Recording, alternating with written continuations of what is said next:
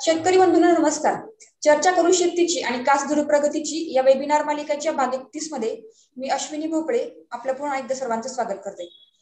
शेतकरी बंधूंनो खरीप रब्बी उन्हाळी हंगामामध्ये आपल्या पिकांच्या दृष्टीने उन्हाळी हंगाम हा फार आपल्याला जोखमीचा किंवा काळजी घेण्या पिकांची फार काळजी घ्यावा लागणारा कालावधी आहे. कारण या कालावधीमध्ये आपल्याकडे पाण्याची उपलब्धता अत्यंत लिमिटेड असते. अत्यल्प प्रमाणात शेतकऱ्यांच्याकडे ज्या शेतकऱ्यांच्याकडे विहीर आहे किंवा इतर काही सिंचनाची साधनं आहेत त्या शेतकऱ्यांच्यासाठी एक सिंचनाचा पर्याय उपलब्ध असतो. पण ज्या शेतकऱ्यांच्याकडे मर्यादित स्वरूपामध्ये पाणी उपलब्ध आहे किंवा उपलब्ध नाही अशा परिस्थितीमध्ये आपल्याकडे आपण जी खरीपाची पिकं सॉरी उन्हाळी हंगामातली काही पिकं असतील किंवा फळ पिकं असतील त्यांची लागवड आपण केलेली असते तर त्या पिकांना जगवणं त्या पिकांची त्या काळातली जी पाण्याची आवश्यकता आहे ती भागवणं हा शेतकऱ्यांसमोर खरं एकतर फार मोठं चॅलेंज किंवा एक आव्हान असतं.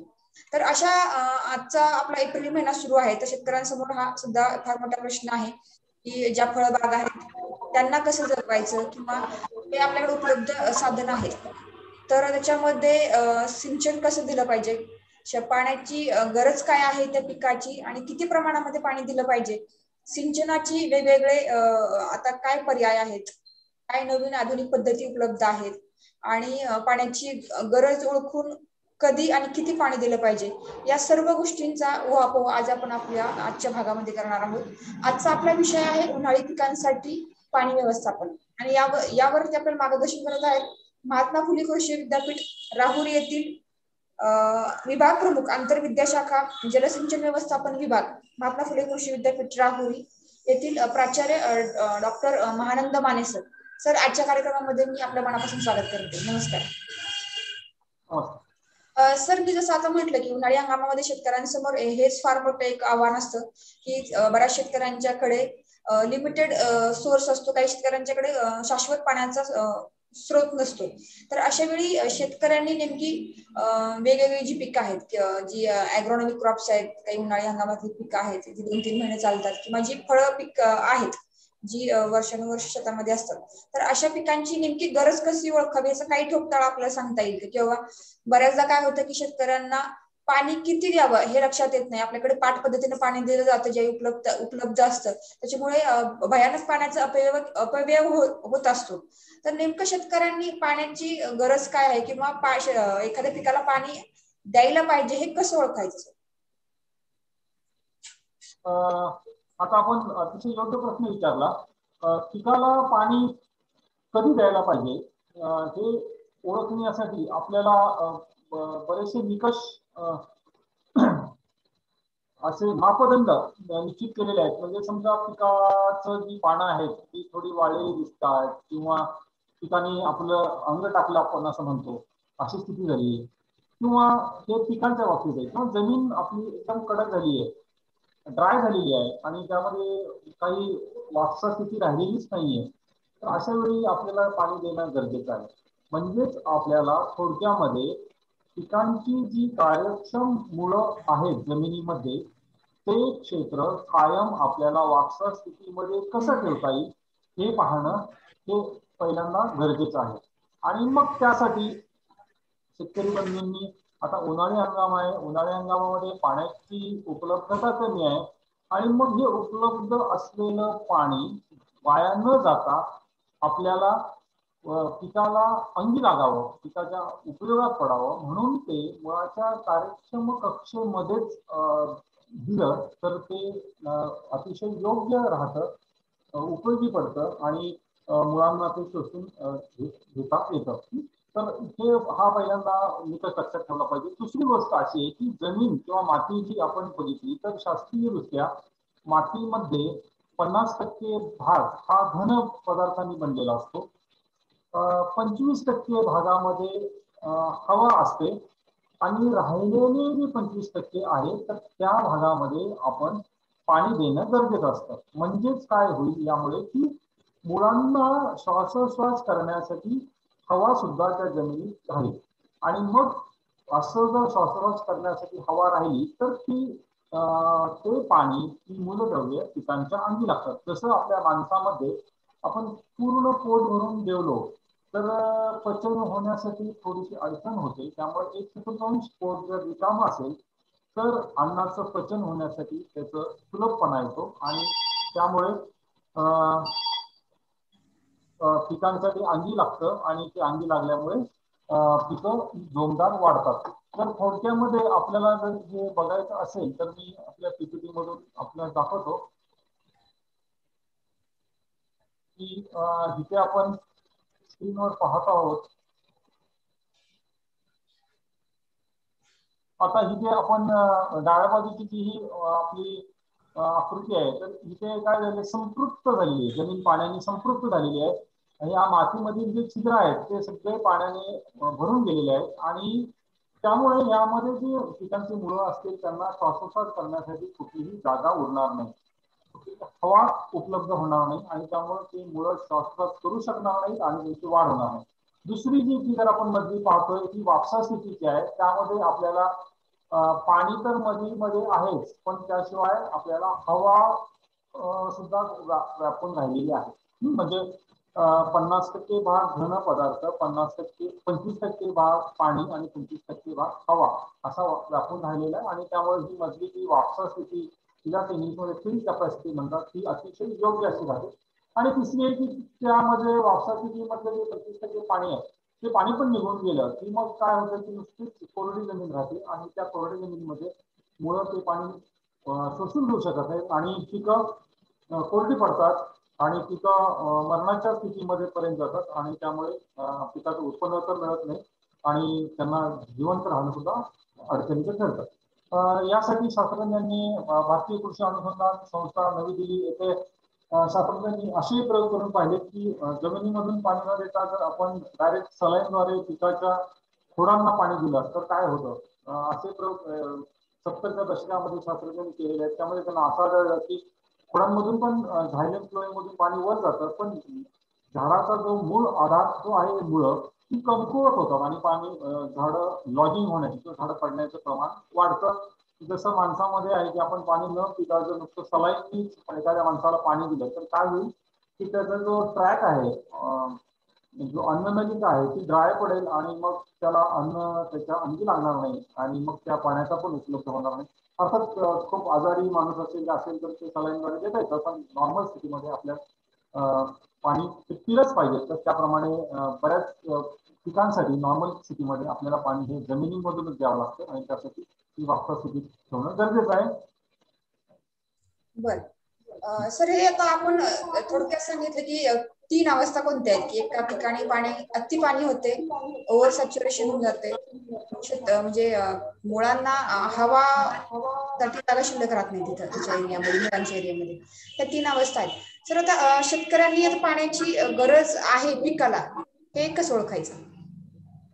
तर आता पाण्याची गरज आता पिकाला देण्याची आहे का नाही? तर याच्यासाठी शास्त्रीय अभ्यास बऱ्याच आपल्या विद्यापीठामध्ये झालेला आहे.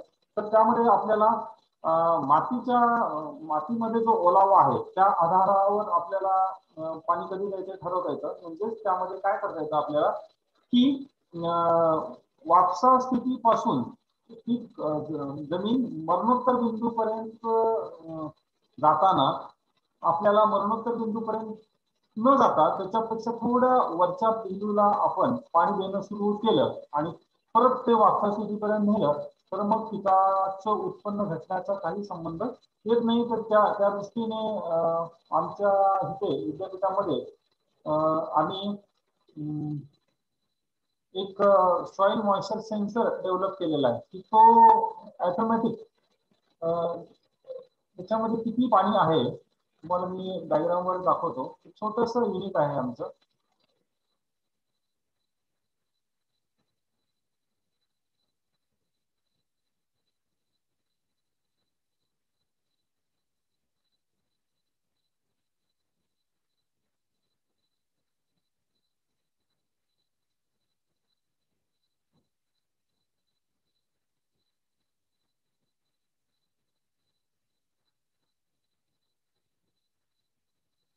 त्यात आपण फोटो बघतोय. तर तिथे आपण काय केलं की real time soil moisture base automatic irrigation system with GSM म्हणजे आपण त्याला सेन्सर्स केले म्हणजे मान्य कुलगुरू सर डॉक्टर पाटील साहेब हे आपल्या जागतिक जल दिनाच्या निमित्ताने आमच्या इथे त्यांनी भेट दिली. आणि त्यावेळी आम्ही आम्ही जे सिंचन उद्यान केलं त्याचं उद्घाटन केलं. तर ह्यामध्ये एक सेन्सर आहे आणि तो सेन्सर लावलेला जो आहे तर तिथं आपल्याला युनिट दिसतंय. तिथे मोटर आहे. ह्याच्यामध्ये पाणी आहे. आणि आपल्याकडे एक सेन्सर आहे. तो फ़ोटो नाही एक्सप्लेन करताय. नाही सर सगळ्या फोटोंचं तो स्क्रीन दिसते. हा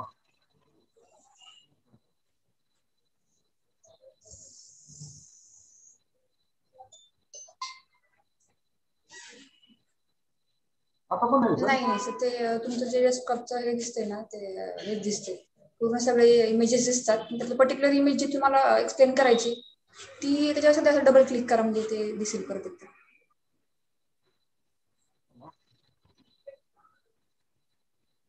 हा आता दिसते सर हा. तर आता यामध्ये बघा की इथे काय केलेलं आपण एक सेन्सर आहे छोटा सेन्सर आहे तो. आणि आपण इथं कुंडी एक कुंडी आपण ओली मातीची ठेवलेली आहे आणि कोरडी ठेवली आहे. आता ज्यावेळी आपण ओली मातीच्या कुंडीमध्ये हा सेन्सर टाकतो तर हा सेन्सर आणि ते कंट्रोलर ठेवलेला आहे आपण. तर आता ह्या सेन्सर हा मॉइश्चर सेन्स करतो इथलं हे वापसा स्थितीला आहे. आणि मग त्याच्या लक्षात येते की वापसा स्थितीला आहे की मग तो ही मोटर मोटरला आदेश देतो की आपल्याला आता पाणी देण्याची गरज नाही त्यामुळे ती मोटर बंद राहते. पण हा सेन्सर आपण काढून जर कोरड्या कुंडीमध्ये टाकला तर त्याच्या लक्षात येतं सेन्सरच्या की इथं पाणी मरणोत्तर बिंदू एवढा आहे. आणि मग तो तसा संदेश? त्या कंट्रोलरद्वारे मोटरला देतो आणि मोटर सुरू होते. आणि इथे खाली आम्ही तीन जेट लावलेले आहेत. आणि जेट सुरू झाले की आपल्याला पाणी उडलेलं दिसून येतं. ही अतिशय स्वस्तामधलं असं आम्ही युनिट तयार केलेलं आहे. आणि आपल्याला सांगण्यास आनंद होतो की आम्ही त्याचा पेटेंट सुद्धा फाईल केलेला आहे. तर निश्चितच हे आपण थोड्या कालावधीमध्ये सगळ्या शेतकऱ्यांसाठी देण्याचा तो प्रयत्न राहील पण हा झाला सॉईल मॉइश्चर बेस. पण आता आपल्याला जर जागतिक लेवलला जर आपण बघितलं तर जागतिक लेवलला पिकांचं बाष्पोत्सर्जन जितकं होतं तितकं पाणी देणं आपल्याला गरजेचं आहे. मग ह्याच्यासाठी आपल्याला आमच्या विद्यापीठाने काही ऍप्स विकसित केलेले आहेत. तर हा ते दाखवतो मी. हा दिसते मॅडम स्क्रीन नाही सर अजून नाही दिसत.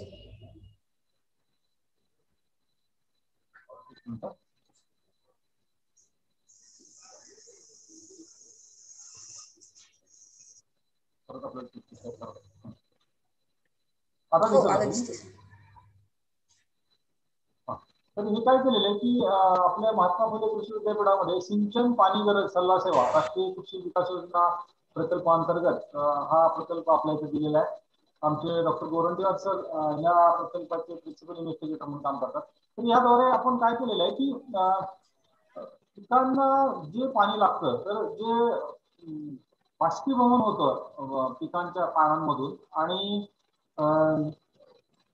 इव्हॉपरेशन आणि ट्रान्सपिरेशन अशा दोन पद्धतीने आपल्या पाण्याचा लॉस होत असतो. म्हणजे जमिनीवरून ज्या पाण्या पाणी सूर्याच्या उष्णतेमुळे त्याची वाफ होते तर त्याला आपण इव्हॉपरेशन म्हणतो आणि वनस्पतीमधून जे जातं पाणी बाहेर त्याला ट्रान्सपिरेशन म्हणतो.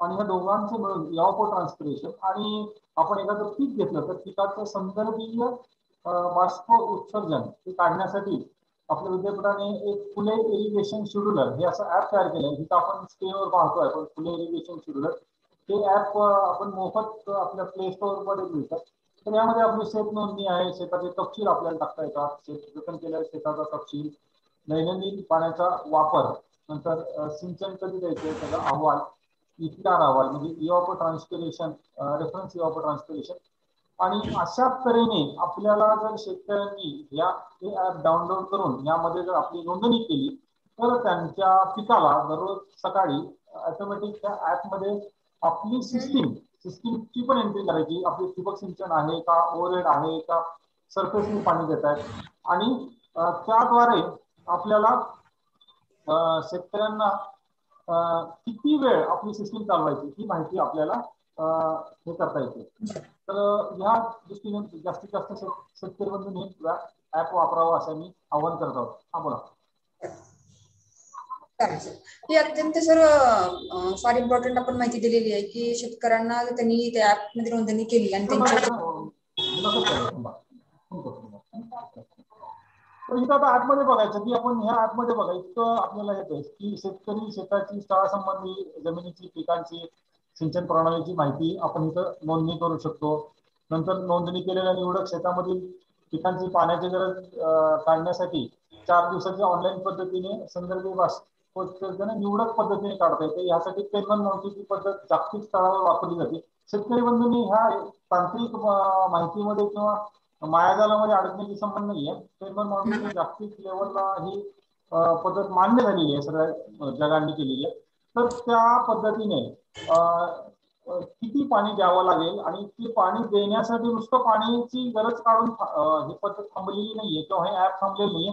तर ह्याच्यावर आपली मोटर किती वेळ चालवावं लागेल? ह्याची माहिती ह्यामध्ये डायरेक्ट येते आपल्या मोबाईलवर आणि त्यामुळं शेतकरी बंधूंना मोजकच पाणी मोजक्या वेळेला मोजक्या ठिकाणी देणं शक्य होतं आणि पाण्यामध्ये बचत होते पिकांची वाढ चांगली होते. ती वाढ होते अशी नाही तर गुणवत्ता पण त्याची वाढते. निर्यातक्षम पिकांचं उत्पादन होतं. आणि त्यामुळे ह्या ऍपचा जास्तीत जास्त शेतकऱ्यांनी वापर करावा असं आम्ही आवाहन करत आहोत. हे ऍप वापर करताना आणखीन काही मायनस डिटेल्स जर शेतकरी पाहिजे असतील तर त्याच्यावर आपण आणखीन काही वेळ किंवा आणखीन एखादा तास एखाद्या दिवशी आपण देऊ शकतो. निश्चित निश्चित. सर आपल्याला त्याच्यावरती वेगळा सेशन सुद्धा घेता येऊ शकतो शेतकऱ्यांच्याकडून जर आपल्याला अशी जर मागणी आली तर आपल्याला निश्चितच वेगळा सेशन घेता येईल.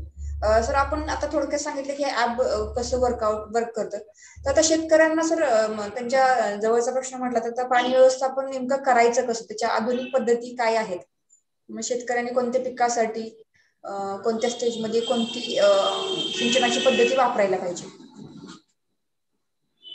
हा तर आता सिंचनाच्या पद्धती आपण मुख्य जर सिंचनाच्या पद्धती बघितल्या तर आता ठिबक सिंचन पद्धत ही एक प्रचलित पद्धत झालेली आहे.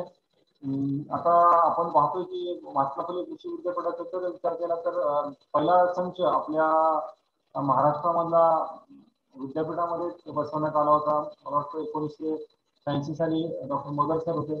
त्याच्यानंतर मग सूक्ष्म तुषार आहेत मायक्रो स्प्रिंकलर आहेत सूक्ष्म जेट आहेत मायक्रो जेट पद्धत आहे. यामध्ये ड्रॉपलेट साईज मायक्रोजेटमध्ये कमी असते साधारणतः शंभर मायक्रॉनपेक्षाही कमी पाण्याची साईज असते. सूक्ष्म तुषारमध्ये साधारणतः एकशे वीस ते एकशे चाळीस मायक्रॉन पर्यंत असते. तर ठिबक सिंचनमध्ये नॉर्मल पाण्याची साईज असते. तर यामध्ये आता फक्त ठिबक सिंचनमध्ये आपण पिकांच्या कार्यक्षम कक्षेमध्ये मुळांच्या कार्यक्षम कक्षेमध्ये पाणी देणं शक्य होतं. पण सूक्ष्म तुषार पद्धतीमध्ये आपल्याला शंभर टक्के भाग आपल्याला ओलीत करता येतो. म्हणजे जवळजवळ वाढणाऱ्या जर भाजीपाला असेल की मेथी आहे कोथिंबीर आहे पालक आहे तर त्यावेळी आपल्याला सूक्ष्म तुषार लावावं लागते. आणि याशिवाय समजा एखाद्या शेतकऱ्याची नर्सरी असेल किंवा रोपवाटिका असेल तर त्यावेळी त्याला सूक्ष्म जेट म्हणजे मायक्रो जेट पद्धत वापरता येते. पण मायक्रो जेट पद्धत वापरताना ड्रॉपलेट साईज पाण्याची कमी असल्यामुळे शंभर मायक्रॉनपेक्षा कमी असल्यामुळे वाऱ्याचा जो वेग असतो त्या वाऱ्याच्या वेगाचा ह्या पाणी पडण्यावर पाण्याच्या थीम पडण्यावर परिणाम होतो. आणि दुसरी गोष्ट सूर्यामुळे सूर्याच्या उष्णतेमुळे बाष्पीभवन जास्त होण्याची शक्यता असते. म्हणून ज्यावेळी शेतकरी बंधून रोपवाटिकेसाठी सूक्ष्म जे पद्धत वापरतात त्यावेळी आपण त्यांना सांगत असतो की त्याला साधारणतः आपल्या शेताच्या कडेने जर आपल्याला काही वाऱ्यासाठी अडकावा करता आला म्हणजे विंड ब्रेक्स जर वापरता आले तर वाऱ्याच्या वेगावर मर्यादा येईल. आणि दुसरी गोष्ट म्हणजे आपण उन्हामध्ये पाणी न देता आपण जर सकाळी ऊन सूर्य उगवायच्या अगोदर पाणी दिलं किंवा संध्याकाळी सूर्य मावळल्यानंतर पाणी दिलं सूक्ष्म जेट पद्धतीसाठी तर ते चांगलं पडतं. तर अशा तऱ्हेने ह्या मेन तीन पद्धती आहेत. त्याच्यानंतर मग आपल्याला ओव्हरहेड स्प्रिंकलर आहे. नंतर मिनी स्प्रिंकलर आहे. त्यातमध्ये रेनफोर्ट आहे. नंतर लॉन किंवा काही गार्डन आपल्याला ओली करायचं असेल तर लँडस्केप इरिगेशन आहे. आणि याशिवाय आपण उसासारख्या पिकांना किंवा चारा पिकांसाठी आपण रेनगन पद्धत सुद्धा वापरू शकतो. पण ह्या पद्धती त्या आधुनिक पद्धती ज्या आहेत ह्या प्रेशराईज सिस्टीममध्ये येतात. म्हणजे ओव्हरहेड स्प्रिंकलर असेल मिनी स्प्रिंकलर असेल नंतर रेनपोर्ट असेल रेनगन असेल तर त्या आधुनिक पद्धतीमध्ये येतात. सूक्ष्ममध्ये त्यांचा समावेश येत नाही. सूक्ष्ममध्ये आपल्याला ठिबक सूक्ष्म तुषार आणि सूक्ष्म जेट यांचा समावेश केला जातो. हा मॅडम बघा. आणि प्रत्येक पद्धत सगळ्या पिकासाठी योग्य असेल असंही नाहीये. ठराविक पिकांसाठी ठराविक पद्धत. आता समजा भाजीपाला पिकं असतील आणि त्यामध्ये पण आपण पट्टा पद्धतीने लागवड करतो तिथे आपण शेतकरी बंधूंनी ठिबक सिंचन पद्धत वापरण्यात काहीच हरकत नाहीये. आणि त्यामध्ये आपल्याला ठिबक सिंचनमध्ये सुद्धा आपल्याला ऑनलाईन इनलाईन प्रेशर कॉम्प्लेनसाठी नॉन प्रेशर कॉम्प्लेनसाठी भूपृष्ठावरील सब भूपृष्ठाच्या खालची असे विविध प्रकार पडतात. तर यामध्ये आपण शेतकरी बंधूंना सांगतो की भाजीपाला पिकासाठी पट्टा पद्धतीने जिथे लागवड केली आहे तिथे इनलाईन ठिबक वापरावी. इनलाईन म्हणजे त्या लॅटरलच्या आतमध्ये त्या तोट्या कंपनीमध्ये लॅटरलच्या काही फोटोग्राफ्स आपल्याकडे आहेत मराठी पीपीटी मध्ये? ते जसं आपण दाखवलं तसं शेतकऱ्यांना अजून जास्त हा इथे आता आपण पाहतो की हे इनलाईन ड्रीप आहेत. हे ज्या तोट्या वेगवेगळे कलर आहेत तर ह्या लॅटरलच्या आतमध्ये बसवलेले असतात. आणि त्यामुळे तिथून ते पाणी पडत असतं. आणि या बाजूच्या आपण ज्या दोन बघतो हे ऑनलाईन आहेत म्हणजे हे आपण ह्या तोट्या आपण लॅटरीच्या वर लावतो.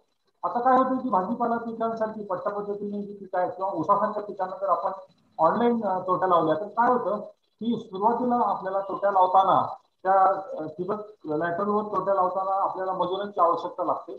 आणि पीक काढल्यानंतर आपण ज्यावेळी लॅटरल शेतकरी म्हणून काढत असतात तर त्यावेळेला तोट्या खाली पडण्याची शक्यता असते.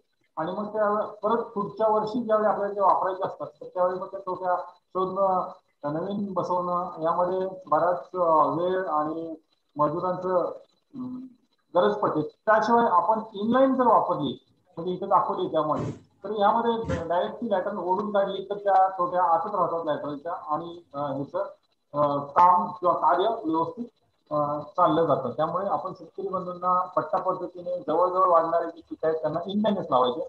पण जर फळबागांसारखी पिकं असतील आणि त्यामध्ये अंतर दोन झाडांमध्ये थोडस जास्त असेल तर त्यावेळी आपल्याला इनलाईन न वापरता आपण सुद्धा ऑनलाईन वापरायची. म्हणजेच आपल्याला त्या फळ पिकांच्या कार्यक्षम कक्षेमधलीच मुळं आपल्याला ओलित करणं शक्य होतं.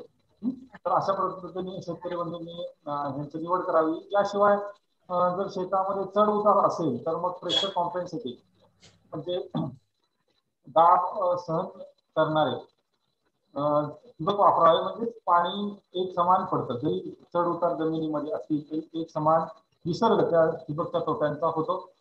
आणि त्यामुळे त्या वापरावे.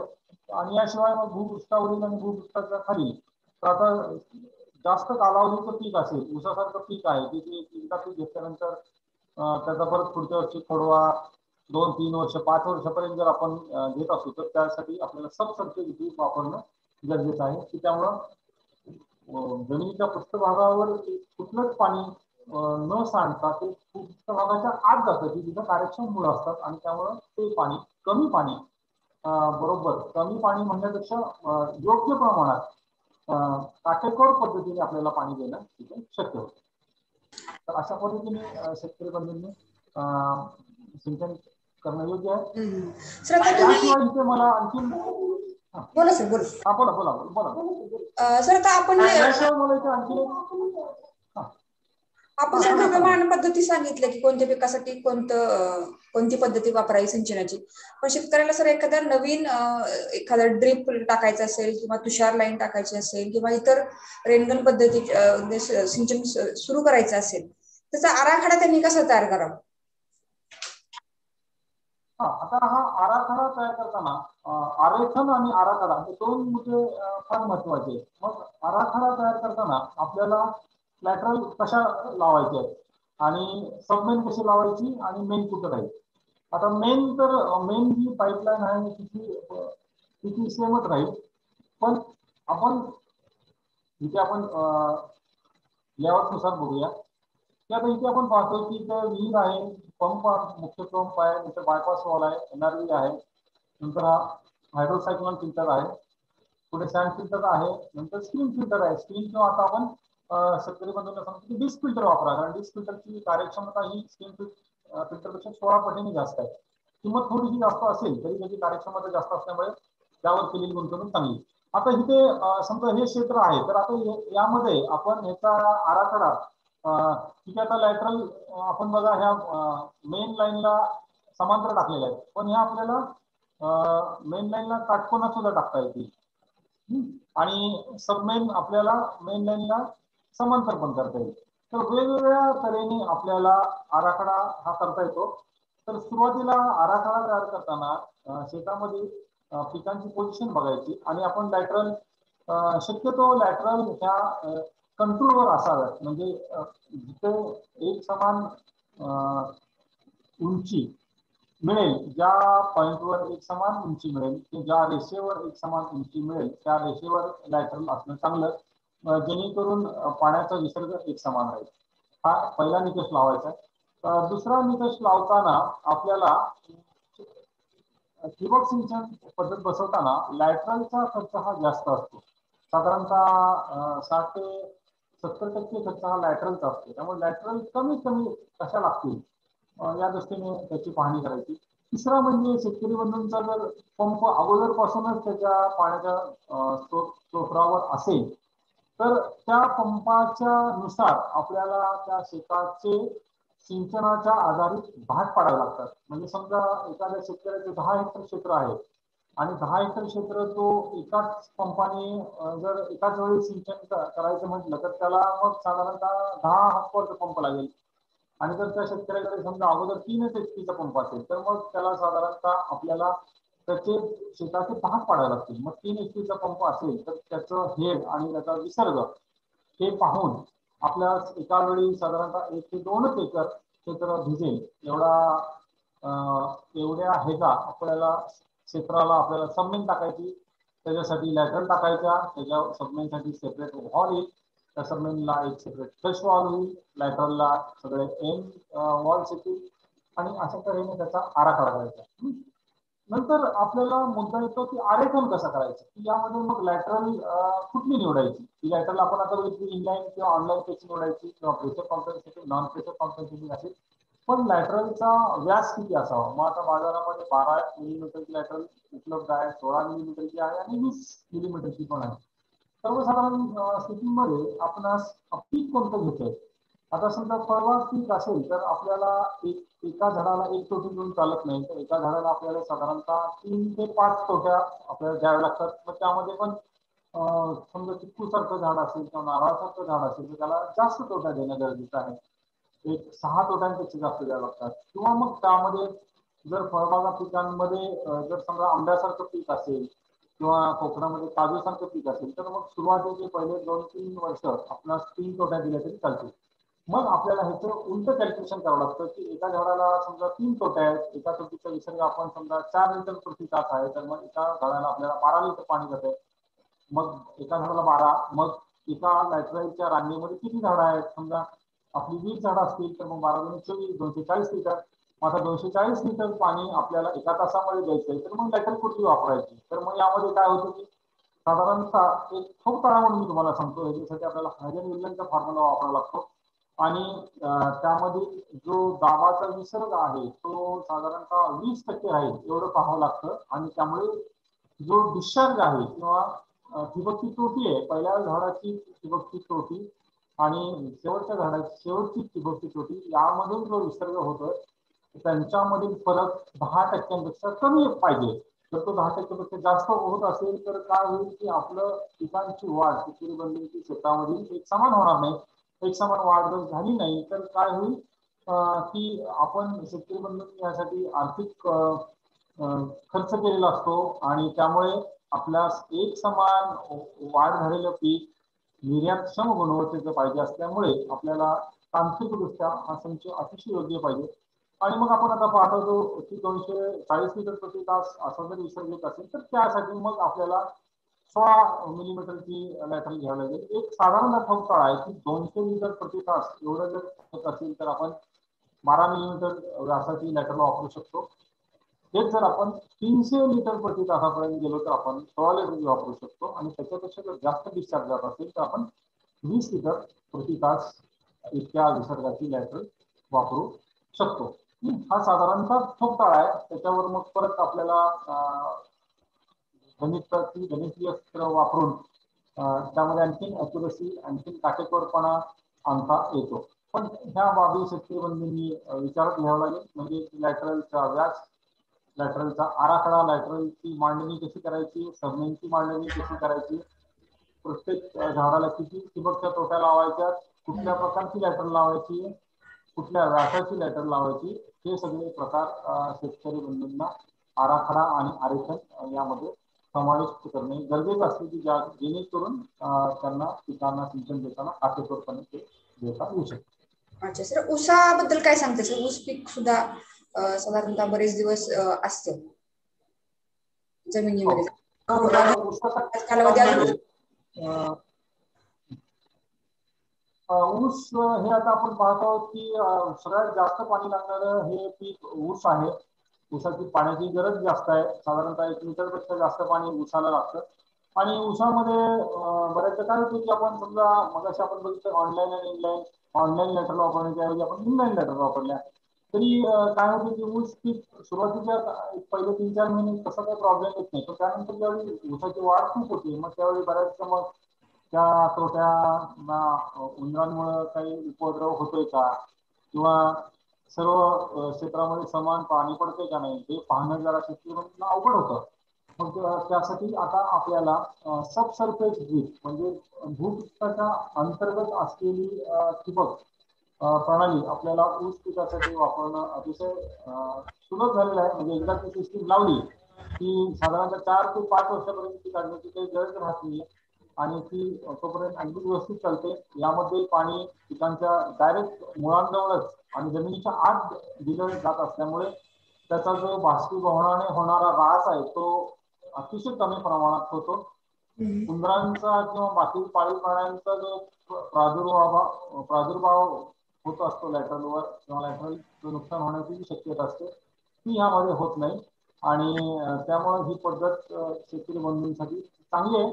याशिवाय याच्यावर आता आमच्या विद्यापीठामध्ये पण विविध प्रयोग चाललेले आहेत आणि काही प्रगतशील शेतकऱ्यांचे पण आपला अनुभव माहीत असतील की कोल्हापूर जिल्ह्यामध्ये आपण त्या शेतकरी बंधूंचं बघितले की त्यांनी एकशे सदुसष्ट टन प्रति हेक्टर उत्पादन घेतलं.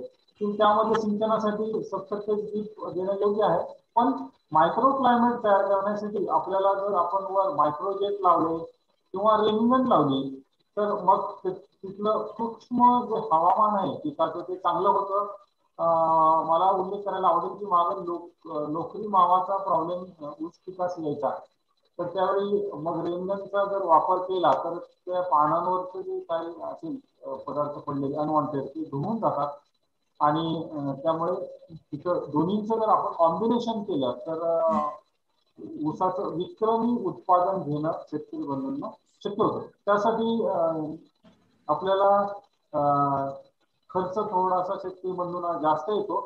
पण जर आपल्याला उत्पादनच विक्रमी घ्यायचं असेल चांगलं घ्यायचं असेल आर्थिकदृष्ट्या किफायतशीर घ्यायचं असेल तर ही जास्तीची गुंतवणूक करणं ही तांत्रिकदृष्ट्या योग्य होतं आणि शेतकरी बंधूंनी करायला हरकत नाही. म्हणजेच एखाद्या मुलाला समजा सर्वसाधारणपणे नुसतं पास व्हायचं असेल तर त्याला एक ऍव्हरेज अर्धा एक तास दररोज अभ्यास केला तर ठीक आहे. पण त्याला समजा नव्वद टक्क्याच्या वर मार्क पडवायचे पाडायचे असतील तर मग त्याला त्या दृष्टीने मेहनत करावी लागेल. त्याप्रमाणे आपल्याला आपण अगोदरच उसापासून आपल्याला किती टार्गेट येईल अपेक्षित आहे ते आपण अगोदर निश्चित करायचं आणि त्या दृष्टीने मग आपल्याला सिस्टीम कशा लावता येतील.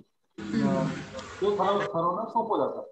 त्याला टार्गेट इन अप्रोच असं आपण म्हणतो की अगोदरच आपल्याला किती मार्क मिळवायचे हे मुलांनी जर वर्ष सुरू होण्याच्या अगोदर ठरवलं आणि त्या दृष्टीने मग त्याला काय काय अभ्यास करावा लागेल काय काय मेहनत करावी त्याचं नियोजन करणं गरजेचं होतं. त्याप्रमाणे आपलं जे टार्गेट येईल कशासाठी जास्त असेल तर मग आपण दोन्ही पद्धतींचं कॉम्बिनेशन जर केलं म्हणजे आपली ठिबक आहे भूपृष्ठाच्या खालची ठिबक आणि भूपृष्ठाच्या वर आपण मग मायक्रोजेट लावले किंवा रेंगण लावला तर या दोन्हीचं कॉम्बिनेशन चांगलं होऊन अतिशय चांगलं उत्पादन मिळणं शक्य सर हे तर आपण जे सांगितलं भाजीपाला असेल किंवा ऊसासाठी पिकं असतात त्यासाठी झालं. पण अजून एक महत्वाचं जर जिथं आपण ड्रिप इरिगेशन किंवा प्रामुख्याने ड्रिप इरिगेशनचा वापरच केला जातो तशी फळ पिकं.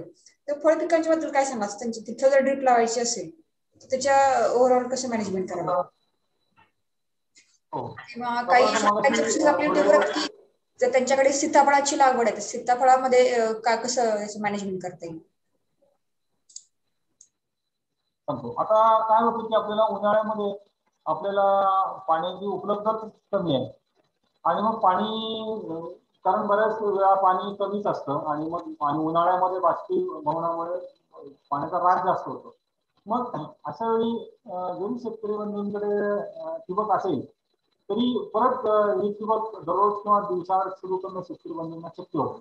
मग त्याच्यासाठी आम्ही त्यांनी सब सरफेस पद्धतीने भूपृष्ठा अंतर्गत पाणी देणं आम्ही सांगतो. या आणि यासाठी आपल्याला बांबूचा जो बांबू असतो एक फुटाचा तो वापरता येतो.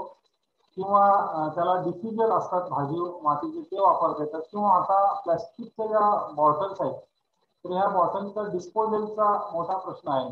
आणि ह्या खूप प्रमाणात लोक पिण्यासाठी या बॉटल्स वापरतात. पिण्याचं पाणी वापरल्यानंतर टाकून देतात. मग आधी तिथे काय करतो जी आपण बॉटल पाहत आहे स्क्रीनवर तर ही ही बॉटल उलटी करायची. हिला तिचं जी झाकण आहे ते लावूनच ठेवायचं. तिचा जो तळ आहे तो तळ आपण कट करून घ्यायचा. इथे बघा तळ कट केलेला आहे. आणि तिच्या झाकणाकडच्या बाजूला गोलाकारपणे एक सात आठ छिद्र पाडून घ्यायची सर्व बाजूला. आणि नंतर ह्या बॉटल्स आपण आपलं जे पीक आहे आपण उल्लेख केला सीताफळाचं पीक आहे किंवा कुठलं संत्रा असेल मोसंबी असेल तर ह्या पिकाच्या कडेने त्यांची झाडाची वयानुसार आपण साधारणतः तीन पासून एक सहा या बॉटल्स आपण लावू शकतो. मग ही बॉटल लावताना आपण ती व्हर्टिकल लावायची तिथे तीन ते पाच सेंटीमीटर भाग हा भूपृष्ठाच्या वर येईल असं ठेवायचं. तिचं जी खाली बॉटल तिचं तोंड आहे तर ते तोंड जिथं येईल तिथे थोडं आपण सेंटर टाकायचे की जेणेकरून त्या बॉटलमध्ये टाकलेलं पाणी त्या बाटलीच्या तोंडाच्या बाजूला ती छिद्र पाडली. तिथून ते लगेच जमिनीमध्ये मुरून जाऊ नये. ते हळूहळू त्या शेणखतामध्ये पाजरावं आणि तिथून ते मुळां पिकाच्या मुळांचा कार्यक्रम कार्यक्षम मुळांना मिळावं. या दृष्टीने आपण ही बॉटल उभी करून ठेवतो. आणि जिथे तिचं तोंड आपण दोन ते पाच सेंटीमीटर जमिनीच्या वर ठेवतो की जेणेकरून इथली आसपासची माती त्या बाटलीमध्ये न पडता ते शुद्ध पाणी तिथे राहील. आणि मग अशा तऱ्हेने जर प्रयोग केला तर आम्ही अशा तऱ्हेने आंबा आणि काजू या पिकांसाठी कोकणामध्ये प्रयोग केले तर दहा लिटर पाणी एका आठवड्याला एका झाडासाठी पुरेसं होतं. म्हणजे समजा आपली जर दहा बाय दहा मीटरवर जर लागवड असेल आंब्याची तर एका एकरमध्ये शंभर झाडं बसतात. मग शंभर झाडांना आपण जर दहा लिटर पाणी एका झाडाला एका आठवड्यात दिलं तर आपल्याला एक हजार लिटर पाणी एका आठवड्याला होतं.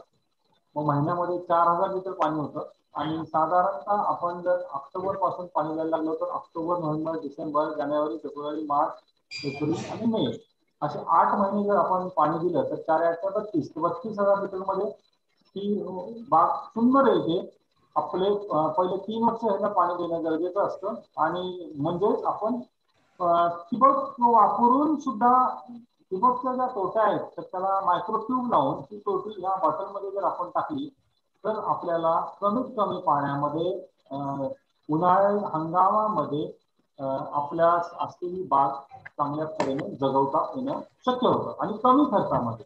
तर अशा तऱ्हेने शेतकऱ्यांनी अवलंब करावा.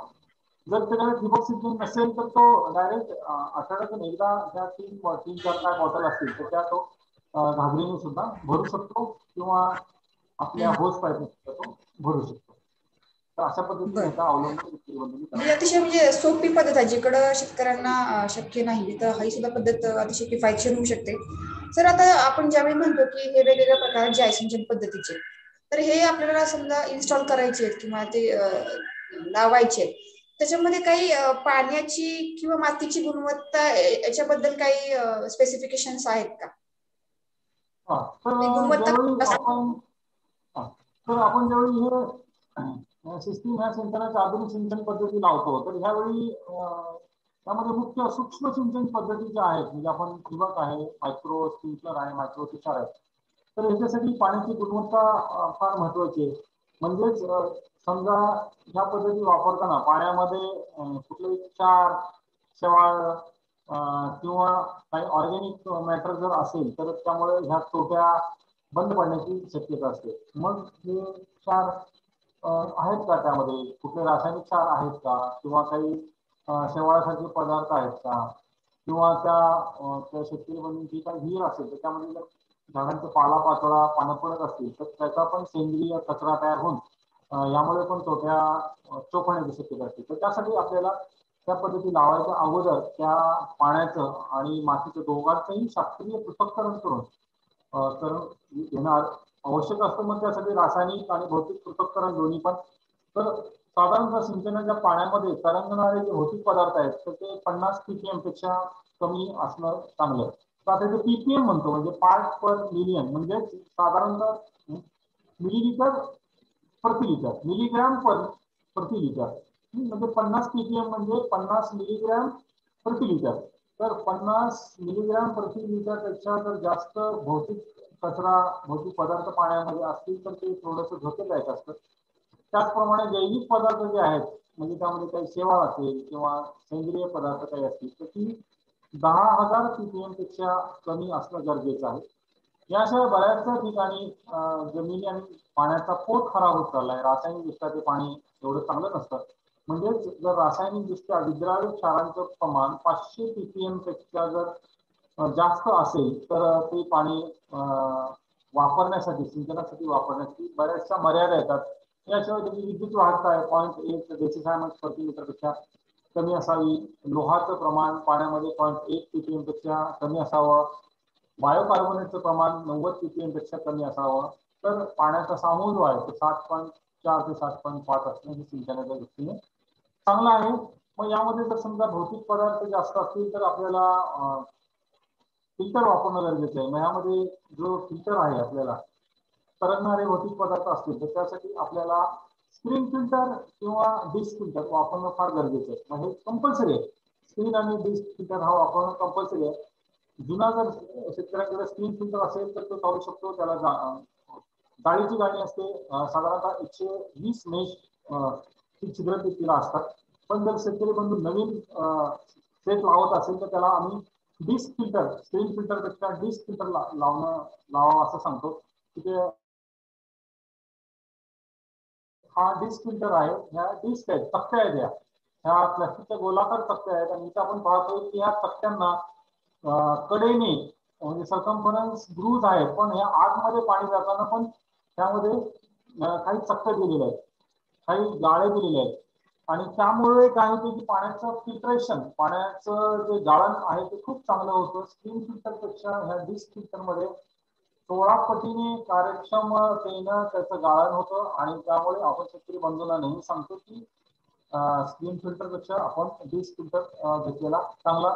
इथे आपण स्क्रीन फिल्टरच्या स्क्रीन वेगळं पाहत पाहू शकतो इथे स्क्रीनवर आणि ह्या बाजूला आपल्याला ज्या रंगीत ह्या दिसतात हे डिस्क फिल्टर आहे तर ते कंपल्सरी आहे शेतकरी बंधूंनी वापरणं गरजेचं आहे. याशिवाय आपल्याला सॅन्ड फिल्टर आहे ते आता आपण पाहतोय हा आडवा सँड फिल्टर आहे हा उभा आहे. म्हणजे शेतामध्ये जे पाण्यामध्ये आपल्याला जैविक पदार्थ दहा हजार पीपीएमपेक्षा म्हणजे दहा हजार मिलीग्रॅम पर लिटरपेक्षा जास्त असतील तर आपल्याला सँड फिल्टर म्हणजे त्याला वाळूची गाळणी म्हणतात. यामध्ये आर्टिफिशियल वाळू म्हणजे सिलिका ती पॉईंट सात मिलीमीटर व्यासाची असते ही साधारणतः पंच्याहत्तर टक्के भाग हा फिल्टरचा सॅन्ड फिल्टरचा ह्या वाळूच्या सिलिकेने असतो खाली कॅन्डल्स असतात. आणि त्यामध्ये हा जैविक कचरा यामध्ये अडवला जातो आणि स्वच्छ पाणी पुढे जातं. त्या गाळणीचे पण दोन प्रकार पडतात. आडवी आडवा सॅन्ड फिल्टर उभा. आडवा सॅन्ड फिल्टरची कॅपॅसिटी जास्त असते पण त्याची कार्यक्षमता त्या मानाने थोडी कमी असते. किंवा सॅन फिल्टर जो असतो उभी जी वाळूची गाणी असते तिची कार्यक्षमता जास्त असते पण तिची कपॅसिटी मात्र कमी असते. त्यामुळे जिथे पाण्याची गुणवत्ता जास्त खराब आहे जास्त जैविक पदार्थ आहेत तर तिथे आपण त्यांना उभा सॅन फिल्टर घेणं वापरावा असं सांगतो. याशिवाय जर नवीन पाण्याचं स्रोत हे नवीन खणलेली विहीर असेल किंवा नवीन तयार केलेलं बोरवेल असेल तर त्यामध्ये मातीचे जड कण असतात की ज्यांची specific gravity two point six फोरपेक्षा जास्त असते. मग त्यासाठी आपल्याला सँड सेपरेटर ती माती आत येतं त्यासाठी सँड सेपरेटर हा एक फिल्टर लावा लागतो. हे फिल्टर ऑप्शनल आहे सँड फिल्टर आहे किंवा हायड्रोसायक्लॉन फिल्टर किंवा सँड सेपरेटर आहे ते ऑप्शनल आहे पण स्क्रीन फिल्टर किंवा डिस्क फिल्टर हा मात्र शेतकरी बंधूंसाठी कंपल्सरी आहे. तर पाण्याच्या गुणवत्तेनुसार आपण ह्या यंत्रणा वापरणं शेतकरी बंधूंनी गरजेचं आहे. अच्छा. सर हे तर झालं की आपण कोणत्या जर पाण्याची जर क्वालिटी जशी ज्याप्रमाणे असेल त्याप्रमाणे आपल्याला काही प्रिकॉशन्स घेणं गरजेचं आहे. सर ज्यावेळी आता हे आपण ड्रिप वापरतो किंवा तुषार वापरतो काही कालावधी करता आपण वापरत असतो त्यानंतर तो आपण काढून ठेवत असतो तर त्याच्यावेळी काय शेतकऱ्यांनी काळजी घ्यायला पाहिजे? हा तर आता साधारणतः शेतकरी बंधूंकडे एक किंवा दोन सिजनच पाणी असेल. आणि मग समजा उन्हाळ्यामध्ये त्यांना पाणी कमी पडत आहे किंवा पावसाळ्यामध्ये पाणी द्यायची गरज नाही पाऊस पडणार आहे तर त्यांनी उन्हाळ्याच्या शेवटी आपण त्या लॅटरलला क्लोरीन प्रक्रिया किंवा ऍसिड प्रक्रिया ही करायची आहे कारण पाण्यामध्ये जे काही जैविक पदार्थ असतात आणि आपण पावसाळ्यामध्ये ह्या लॅटरल बाजूला ठेवत असतो टांगून ठेवत असतो तर त्यासाठी लॅटरल वाइंडर हे एक उपकरण आहे. मी तर आपल्याला ते दाखवतो. तर ते लॅटरल वाइंडर हा जो आहे तर संच शेवटी आपण शेतकरी बंधूंनी काय करायचे की तर तो फोटो नाही ओपन झाला हो होतो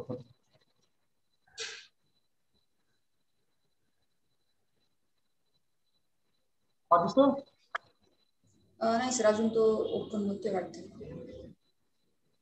आला असेल. आला का नाही आला सर.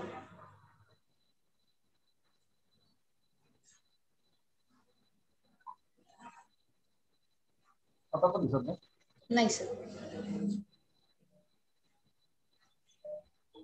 तीस मिनिटं मी डायरेक्ट त्याच्यावर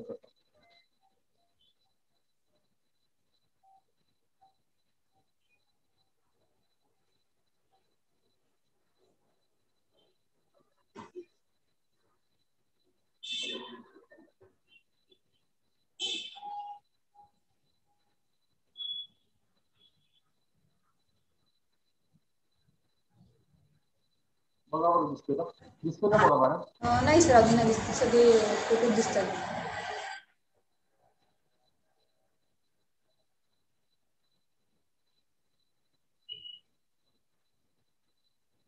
आता बघा एक मिनिट तीनशे स्टॉप झाला आता दिसेल दिसतो हा सर दिसतोय हा. तर हे आता आपण हा लॅटरल वाइंडर बघतोय. तर आपल्याला हंगामाच्या शेवटी आपल्याला लॅटरल ज्यावेळी आपल्याला नंतर स्टोअर करायचे असतात कारण पावसाळ्यामध्ये आपल्याला काही यांचं पाणी देण्याची गरज नाही. तर त्यावेळी मग ही एक लॅटर इथं अडकवायची. त्याला हँडल असतं. ह्या पलीकडच्या बाजून हँडल आहे. आणि ते हँडल फिरवलं की लॅटरल ह्याच्यावर अशी गोलाकार गुंडाळी जाते. गोलाकार गुंडाळी झाल्यानंतर त्या लॅटरला जर आपण प्लास्टिकच्या दोरीने किंवा सुतळीने बांधलं आणि ती एखाद्या बांबू किंवा पाईपवर आपण वर अडकून ठेवायची की जेणेकरून उंदीर किंवा कुठल्याही तत्सम प्राण्यांपासून त्या लॅटरलचं नुकसान होऊ नये. आणि ही लॅटरल आपण गुंडाळायच्या अगोदर आपल्याला तिला आपल्या पाण्याच्या स्तोत्रामध्ये जर जैविक पदार्थ असतील तर आपण क्लोरीनची प्रक्रिया करायची. जर रासायनिक पदार्थ आपण बघितलं पाचशे पीपीएमपेक्षा जास्त असतील तर आपल्याला हायड्रोक्लोरिक ऍसिडची प्रक्रिया करणं अतिशय गरजेचं असतं. आणि त्यामुळे काय होतं की लॅटरलच्या आतमध्ये कुठलाही कचरा किंवा कुठलाही घाण राहत नाहीये. आणि ते झाल्यानंतर मग परत आपण रब्बीमध्ये ज्यावेळी आपल्या शेतकरी बंधूंची जी पिकं असतील भाजीपाला पीक असेल किंवा कुठले पीक असेल त्यासाठी या लॅटर काढून नंतर वापरणं गरजेचं म्हणजे सोयीचं होतं. आणि जेणेकरून ह्या संचासाठी शेतकरी बंधूंनी खर्च केलेला असतो. त्यामुळे ह्या संच जास्तीत जास्त कालावधीसाठी कसा चांगला राहील? ह्या दृष्टीने शेतकरी बंधूंनी काळजी घेणं गरजेचं आहे. तर ह्यासाठी आम्ही हे सगळे सिंचनाचे जे पदार्थ आहेत किंवा ज्या पद्धती आहेत ह्या सगळ्या आम्ही महात्मा फुले कृषी विद्यापीठाच्या आंतरविद्याशाखा जलसिंचन व्यवस्थापन विभागाने सिंचन उद्यान म्हणजे इरिगेशन पार्क तयार केलेला आहे आणि त्यामध्ये या सगळ्या पद्धती आपण ठेवलेल्या बोला. सर आता आपण आतापर्यंत भरपूर चर्चा केली की कोणत्या पद्धती आहेत? कोणत्या पिकासाठी कोणती पद्धत वापरली पाहिजे? शेवटचा एक आणि महत्त्वाचा प्रश्न असा होता की आपण पाऊस ज्यावेळी पाण्याचं दुर्भिक्ष होतं त्यावेळी किंवा ज्यावेळी पाणी आपल्याला काटेकोरपणे वापरायची गरज असते त्यावेळी या सगळ्या पद्धतींचा अवलंब करतो. परंतु आपल्याला जर जमिनीमध्ये पाणी साठवून ठेवायचं असेल जास्ती प्रमाणात जेणेकरून आपल्याला स्वच्छ सिंचनाची कमीत कमी गरज पडावी. तर अशा परिस्थितीत जमिनीमध्ये पाण्याची क्षमता वाढवण्यासाठी किंवा जमिनीमध्ये पाणी साठवून ठेवण्यासाठी पावसाळ्या अगोदर शेतकऱ्यांनी काय काय उपाययोजना केल्या पाहिजेत? जेणेकरून जो पाऊस पडतो पावसाळ्यामध्ये तो तो जमिनीमध्ये जास्तीत जास्त ते पाणी मुरलं पाहिजे? हो अतिशय चांगला प्रश्न विचारला की आपल्याला पाण्याची उपलब्धताच कशी वाढेल? तर या दृष्टीने आपल्याला प्रयत्न करण्यासाठी यावर आमच्या विद्यार्थ्यांनी खूप चांगलं काम केलेलं आहे. तर ह्यामध्ये पावसाळ्यामध्ये ज्यावेळी जास्त पाणी पडतं तर हे पाणी आपल्याला भूपृष्ठामध्ये कसं जास्तीत जास्त मुरेल हे पाहणं गरजेचं आहे. तर त्यासाठी आपल्या विद्यापीठात फिल्टर तयार केलेलं आहे त्याचा फोटो आपल्याला शेअर करतो. तर यामध्ये जे पाणी पाऊस जास्त पडल्या नदी नाल्याने वाहून जातात तर त्यापेक्षा ते वाहून न जाता ते आपले बोरवेल मध्ये किंवा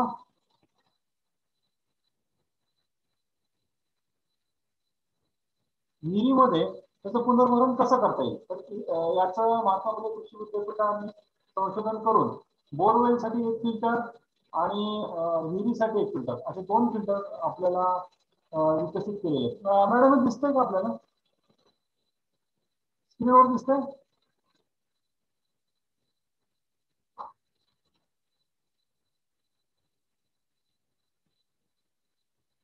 हा मॅडम दिसतंय समोर? दिसतंय सर दिसतंय. तर आता हे बघा की आपल्या पावसाळ्यामध्ये जो आपदा येतो तर आता आपल्याला उपनलिकेद्वारे भूजल पुनर्भरण कसं करायचं? तिथे आपल्या बोरवेल्स असतील तर पावसाळ्यामध्ये जे जास्तीचं पाणी अपदावा वाटे वाहून जातं तर ते पाणी आपल्याला त्या पाण्याचा उपयोग आपल्याला खूप नलिकेद्वारे भूजल पुनर्भरण करण्यासाठी करण्यासाठी आपली गाळण यंत्रणा विद्यापीठाने विकसित केली आहे. तर यामध्ये लोखंडी जाळी दोन मिलीमीटरची आपण वरच्या भागात ही कंप्लीट इथपर्यंत लावलेली आहे. आणि त्यामध्ये बघा इथे पहिले विटांचे तुकडे चोवीस ते अठ्ठावीस मिलीमीटरचे पन्नास सेंटीमीटर लावले. त्याच्यानंतर आपण बारीक वाळू टाकलेली आहे. ती पॉईंट सहा ते दोन मिलीमीटर व्यासाची पन्नास सेंटीमीटर. त्याच्यानंतर खडी टाकली आहे. आणि शेवटी दगडगोटे असे चार लेअर आपण टाकलेले आहेत. आणि अपदावाचं पाणी इथं जर आपण घेतलं तर मग हे अपदावाचं पाणी त्या कुपनलिकेला जो आपण पाईप लावलेला आहे त्याला होल्स आहेत आणि त्याला लोखंडी जाय लावली. तर त्यात मुरून ते भूजल पुनर्भरण करण्याचं काम करतात. तर असं अशा प्रकारे आपण पावसाळ्यामध्ये उपनलिकेद्वारे भूजल पुनर्भरण करू शकतो किंवा यामध्ये आणखीन आपण विहीर पुनर्भरण पण करू शकतो. तर हे विहीर पुनर्भरणाचं आपल्याला दिसतंय. की यामध्ये आपण विहीर जर असेल शेतकरी बंधूंची तर ही विहीरला कसं पाणी द्यायचं? तर ह्यामध्ये आपल्याला दोन खड्डे घ्यावे लागतात. पहिल्या खड्ड्यामध्ये आपण इथं बघतोय की एक मीटर उंच आणि तीन मीटर रुंदी असलेला हा खड्डा आहे. त्यामध्ये दगडकोटे भरलेले आहेत. त्यामध्ये अपधावाचं पाणी घ्यायचं. ते पाणी किंवा तो खड्डा आपल्याला सहा इंचाची पीव्हीसी पाईप चार मीटर अंतराने दुसऱ्या खड्ड्याला जोडलेली आहे. आणि दुसऱ्या खड्ड्यामध्ये आपल्याला परत विटांचा चुरा बारीक वाळू वाळूची चाळ आणि खडी असं चार थर टाकून ते पाणी त्यामध्ये घ्यायचं. आणि तिथून ते चार इंच व्यासाची जी पीव्हीसी पाईप आहे त्याद्वारे आपल्याला शेतकरी बंधूंना विहिरीत सोडता येतात. म्हणजेच जेणेकरून पावसाच्या पाण्याचा जो अपधावेद्वारे जो ऱ्हास होणार आहे तो ऱ्हास न होऊ देता आपण पळणाऱ्या पाण्याला पहिल्यांदा चालायला लावतो. चालणाऱ्या पाण्याला आपण जमिनीमध्ये म्हणजेच विहीर आणि कूपनलिकेमध्ये आपण सोडतो की ज्याद्वारे भूजलाचं आणि विहिरीचं पुनर्भरण व्हावं. जेणेकरून हे पाणी त्यामध्ये साठल्यानंतर आपल्याला जो पुढचा रबी हंगाम आहे किंवा उन्हाळीचा रबी नंतर उन्हाळी हंगाम आहे त्यावेळी पाण्याची उपलब्धता जास्त राहील आणि ते पाणी आपल्याला पिकांसाठी सिंचनाच्या आधुनिक पद्धती वापरून आपल्याला देता येईल. आणि त्याद्वारे शेतकरी बंधूंना त्यांचं उत्पादन तर वाढवता येईलच पण त्याची गुणवत्ताही वाढवता येईल शक्य निश्चितच सर. हे हे आपण जो आता मुद्दा सांगितला फार महत्त्वाचा होता. की आपल्याकडे पावसाचं पाणी त्याप्रमाणे मुबलक प्रमाणात उपलब्ध असतं पण ते अडवून आणि जिरवणं ही फार महत्वाची जमिनीचं पुनर्भरण करणं पाण्याचं. कारण जितका उपसा वर्षानुवर्षापासून जमिनीतून होत आहे तर त्या प्रमाणात पाणी जमिनीमध्ये मुरवलं जात नाही. जमिनीची वॉटर लेवल वाढवली जात नाही. तर हा एक महत्त्वाचा अतिशय महत्वाची माहिती सर आपण दिली. तसं शेतकऱ्यांच्या दृष्टीने शेवटचा आणि महत्त्वाचा प्रश्न की शेतकऱ्यांना जर ड्रिप लाईन बसवायची असेल किंवा काही तुषार संच बसवायचा असेल किंवा इतर आधुनिक पद्धतींचा वापर करायचा असेल तर त्याच्याबद्दलचं टेक्निकल नॉलेज किंवा तांत्रिक ज्ञान शेतकऱ्यांना कुठून मिळेल? त्याच्या त्याच्याच करता आपल्याकडे काही संपर्क क्रमांक काही एजन्सी यांची काही आपल्याकडे माहिती आहे का सर? तर हे शेतकरी बंधून आमचा असा अनुभव आहे की शेतकरी बंधूंनी ज्यावेळी त्या सगळ्या पद्धती प्रत्यक्ष बघितल्या तर त्यांना लगेच त्यांना खात्री पडते की आपण कुठली पद्धत आपल्याला योग्य आहे. तर ही शेतकऱ्यांची गरज ओळखून आम्ही आमच्या विद्यापीठामध्ये आम्ही सिंचन उद्यानाची निर्मिती केलेली आहे. आणि मग हे सिंचन उद्यान जे आहे तर मी ते आपला तिथे फोटो मी दाखवतो.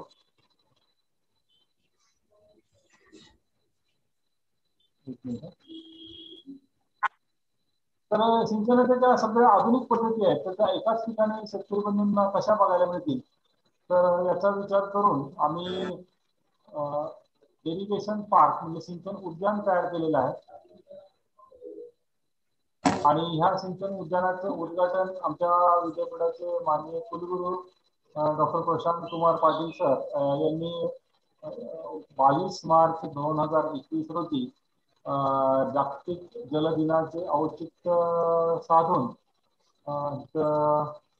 केलेलं आहे. तर मी आपल्यास त्याचे थोडक्यात फोटो शेअर करतो.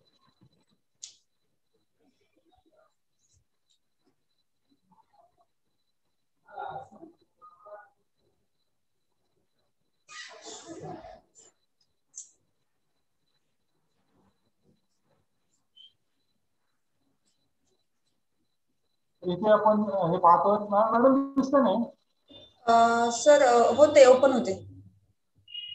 अजून नाही आले हा सिंचन उद्यान पार्क आहे तर यामध्ये सिंचनाच्या सगळ्या आधुनिक पद्धती आपण म्हणजे यामध्ये मायक्रो स्प्रिंकलर आहे मायक्रो जेट आहे ठिबकमध्ये ऑनलाईन ठिबक आहे इनलाईन ठिबक आहे प्रेशर कॉम्पेन्सेटिंग आहे नॉन प्रेशर कॉम्पेन्सेटिंग आहे वेगवेगळ्या विसर्गाच्या ठिबक आहेत.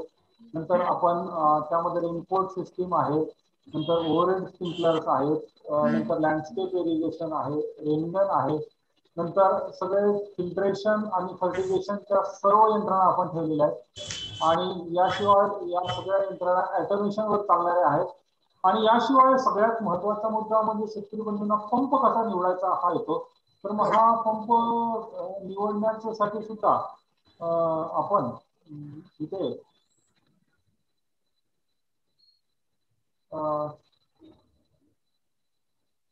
पंप निवडण्यासाठी सुद्धा आपण चार प्रकारचे पंप ठेवलेले आहेत. म्हणजे बोरवेलचा पंप ठेवलेला आहे किल्लू पंप ठेवलेला आहे मोनोब्लॉक पंप ठेवलेला आहे नंतर सबमर्सिबल पाणबुडी पंप ठेवलेला आहे.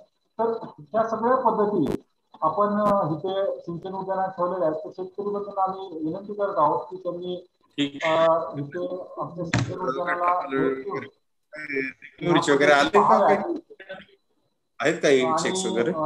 चेकचं काय झालं सात कोटीचं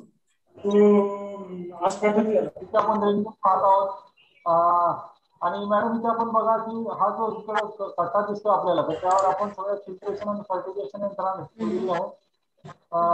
त्याबद्दल आपण चार प्रकारचे पंप ठेवलेले आहेत. आणि शेतकरी बंधू ज्यावेळी इथे येऊन ह्या पद्धती पाहतो त्यावेळी त्याचं सगळं क्लिअर होऊन जातं. आणि मग त्याला लगेच वाटतं की आपण कुठली पद्धत आपल्या पिकासाठी योग्य आहे. आणि याद्वारे आम्ही तांत्रिक लिखाण पण केलेलं आहे तांत्रिक घडीपट पत्रिका पण आहेत. ठिबक सिंचन पुस्तक स्वतः मी आणि आमच्या सहकाऱ्यांबरोबर लिहिलेलं आहे. त्याशिवाय इंग्लिश पुस्तके लिहिलेलं आहे. तर या सिंचन उद्यानामध्ये आम्ही आवाहन करत आहोत की शेतकरी बंधूंनी जास्तीत जास्त भेट द्यावी. आता करोनामुळे आपल्याला सोशल डिस्टन्सिंग पाळावं लागतंय. तरी आम्ही पाच प्रशिक्षण शेतकरी बंधूंसाठी आम्ही एक एक दिवसांची घेतलेली आहे. आणि यापुढे आम्हाला यावर आधारित काही दहावी किंवा बारावी ड्रॉपआउट झालेल्यांसाठी एक तीन ते चार महिन्याचा मेंटेनन्सचा कोर्स सुरू करता येईल. या दृष्टीने आमचा आता विचार चालू आहे चालू आहे. त्यावर आमचा आता सिलेबस फायनल आम्ही करत आहोत. आणि जेणेकरून या ज्या पद्धती आहेत सिंचनाच्या आधुनिक पद्धती आहेत त्या जास्तीत जास्त चांगल्या राहाव्यात. जास्तीत जास्त पद्धतीने शेतकरी बंधूंना त्या उपयोगात आणाव्यात. या दृष्टीने आपण एकाच ठिकाणी साधारणतः पंचवीस गुंठ्याच्या क्षेत्रावर त्या पद्धती लावलेल्या आहेत. हे माननीय आमचे कुलगुरू सर आणि संशोधन संचालक यांनी बावीस मार्चला त्याचं उद्घाटन केलेलं आहे. सर आपण जे सांगितलं जे उद्यान आहे जलसिंचन उद्यान ते निश्चितच शेतकऱ्यांकरता एक आदर्श किंवा एक मॉडेल म्हणून पाहता शेतकऱ्यांना तिथून जी मी जसं म्हटलं ट्रेनिंगची फॅसिलिटी सुद्धा भविष्य काळात शेतकऱ्यांसाठी सुरू होऊन जाईल. सर आमचे joint director sir Awate sir सुद्धा या वेबिनारमध्ये जॉईन आहेत. तर मी आवटे सरांना विनंती करते की त्यांनी दोन मिनिटं मीटिंगमध्ये संबोधित करावं. हो. धन्यवाद. थँक्यू माझा आवाज येतोय माने साहेब? हो, नमस्कार नमस्कार. खूप दिवसानंतर भेट झाली या निमित्ताने. हो, हो, अत्यंत चांगला विषय आहे आणि उन्हाळी हंगामातील हे सिंचन व्यवस्थापनाच्या संदर्भाने खर तर आपल्या सगळ्यांनाच कल्पना आहे की पाणी हे जीवन आहे आणि पाण्याचं व्यवस्थापन हे शेतीचा आत्मा आहे. त्याच्या योग्य व्यवस्थापन झालं. तरच मग शेतकऱ्याचं संपन्न होऊ शकतं पिकं चांगली होऊ शकतात. हे आता आपण बघतो की ज्या काही राज्यात फळबागा उपलब्ध झालेल्या आहेत तर त्या देखील आता जे शेततळ आहे शेततळ्याला प्लास्टिक आस्तरीकरण आहे या माध्यमातून पाणी संरक्षित पाणी उपलब्ध झालं.